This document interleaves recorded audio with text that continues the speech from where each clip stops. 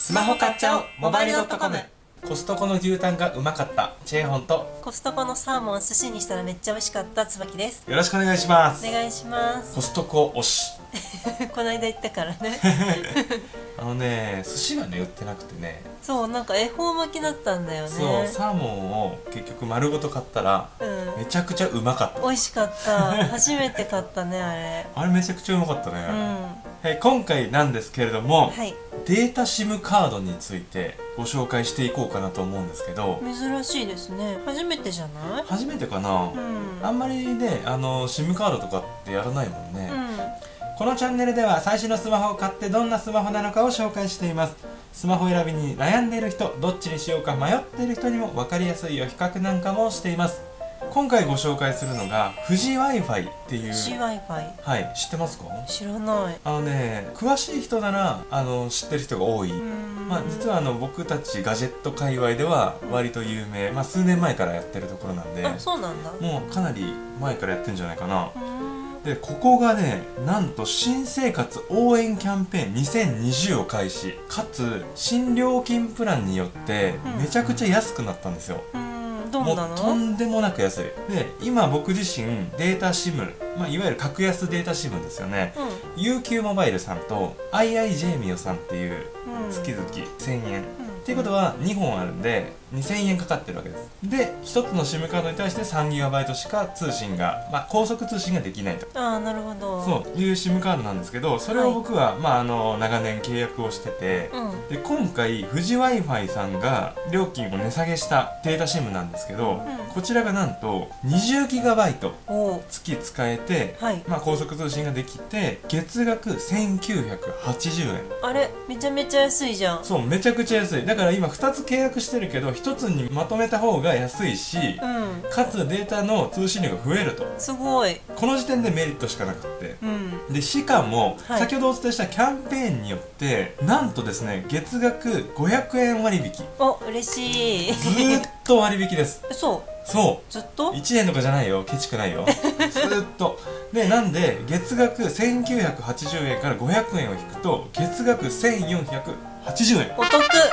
めちゃくちゃ安い。これね衝撃です。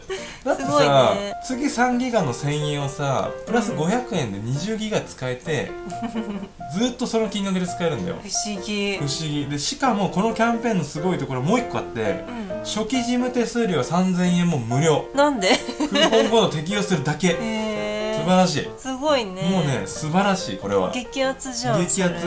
で一応期間限定ではあるんですけど申し込み期間が2020年4月30日まで。うんまだあの期間に余裕はあるんで、例えばさこれから新生活で引っ越しされる方とか家の固定 w i f i とかがさないとうんうんダメだったりするじゃん、うん。まあ、これ20ギガあるんで固定回線の代わりにもできると、うん。で先ほどあの、まあ、20ギガというか、まあ、今回僕はあの先に言っときますけど契約しました20ギガ。もうやっはい、たの、もうあの契約しちゃいました。椿さんに何も言う前にあの契約しちゃいました。もうこれはね安すぎる で今回20ギガをおすすめしてるんですけど一応ねあの20ギガ50ギガ100ギガ200ギガっていうまあいろいろプランがあるわけなんですよ。でしかも全部すごく安くて50ギガでも2480円でここから500円引き。うん。だから50ギガで1980円なんですよ。あれめっちゃ安いじゃん。そうめちゃくちゃ安い。で100ギガで2480円から500円引きなんで2480円。へえすそうめちゃくちゃ安いんですよ。まあぶっちぎり。で一応僕ねあの月3ギガバイトで1000円払ってた理由っていうのがちょうどいい大容量で2000以下の SIM カードってなかったんですよ。うん、だ。から僕自身乗り換えというか、まあ、買い替えをしてなかったわけなんですけど、うん。まあ、いよいよベストなやつが出てきたとそういうことですそういうことです。でしかもこの富士 w i f i の魅力はい。その1通信速度が速い。うん。これね富士 w i f i さんはソフトバンクの回線を利用してます。あそうなの？はい。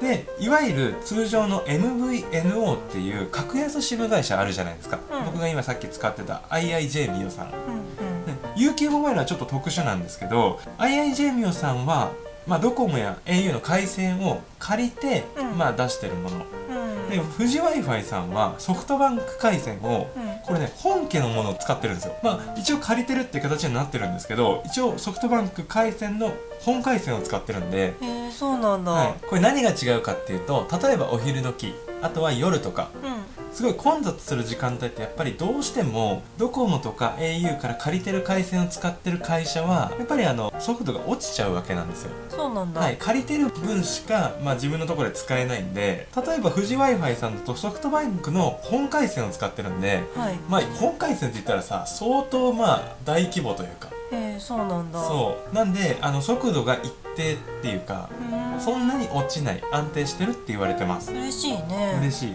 だからまずねここで僕はもう一つ、まあ、速度も安心だっていう判断をしました。いいところその2はい。いつ解約をしてもいい。しかも違約金0円。ゼロなんだ。そう。だから例えば使ってみて、うん。まあ、自分のエリアが、まあ、速度が遅かったりとか、うん。うんうまくつながらなかったりしても最低利用期間っていうのはないんですよ。でしかもしかも違約金がない。へえなんで嬉しいね。安心っていう感じ。そう。めちゃくちゃ安心、うん。まあ、だから、あのーぶっちゃけ20ギガで1480円なんで、うん。まあ、とりあえず契約して使ってみるっていうのも一つ選択肢としては、ありだよね。ありあり全然あり、うん。まあねすごいわけですよ、お試しもしやすい価格だし、うん、すぐやめれるっていうのもいいところ始めやすいね。始めやすい。うんまあ、一応ねあの注意点としてはソフトバンク回線を使うんで、うん。ソフトバンク回線に対応しているスマートフォンとかモバイルルーターが必要になってくると、うん。そこだけちょっと注意が必要。一応 iPhone シリーズであれば iPhone6S 以降の SIM ロック解除した iPhone であれば間違いなく使える。うん。Android であればあの最近のね SIM フリースマホっていうのはほとんど使えるようになってるんだけど、うん。まあもちろんこれは機種によって違うし一応僕がおすすめするのは Oppo Reno A っていう、まあ、あのコスパスマホ。うんうんうん、この辺はね使えるんでぜひ、まあ、モバイルルーターも富士ソフトさんとかっていうね結構流行りの、聞いたことない、アマゾンでねベストセラーになってるんで検索するとすぐ出てきます、はいまあ、この辺り使っておけばまあ間違いないでしょう。っていう今回は富士 w i f i さんをご紹介してきました。本当に今回何がいいってちょうどいいんですよ。僕みたいに月 3GB をすでに契約してる人。うん1000円で契約してる人はもう正直買い替えない理由がないぐらい特にデータ通信をしてる人。そうだね。そう。3ギガって微妙に足りないゾーンじゃない、うん微妙というか足りない。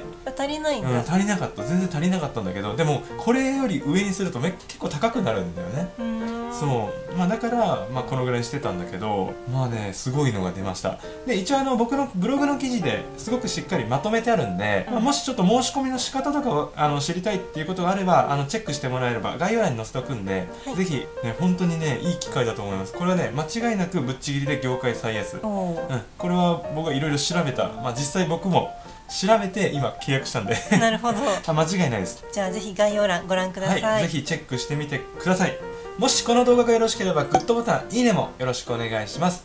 ブログ、ツイッター、インスタグラムもやっています。チャンネル登録もぜひよろしくお願いします。最後までご視聴いただき誠にありがとうございました。